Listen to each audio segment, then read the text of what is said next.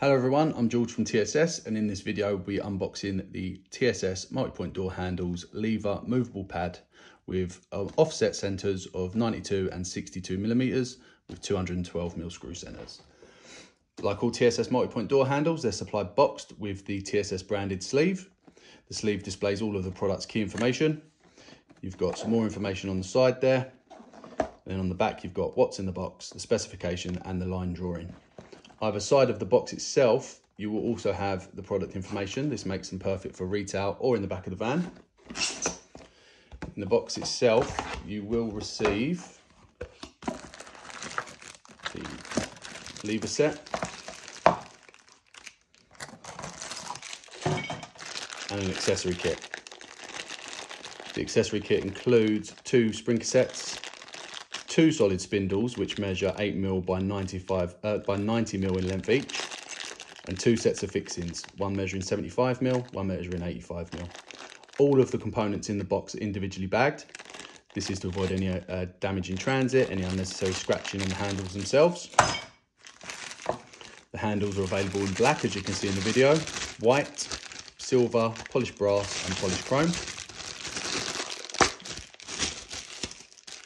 The polished chrome, polished brass and silver are salt spray tested to 240 hours, making them suitable for coastal areas as they're weather resistant. And all of the handles are cycle tested to 50,000 operations. I'll go over the measurements of the handles for you now. First I'll do the internal side, which is the lever side. So the lever, the internal side, has a center of 92 millimeters. You've got a width of 34 mil and a back plate height of 245 mil. Top screw to center of the spindle is 75 mil.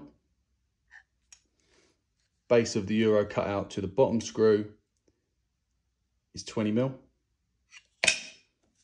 And you've got a screw center of 212 millimeters.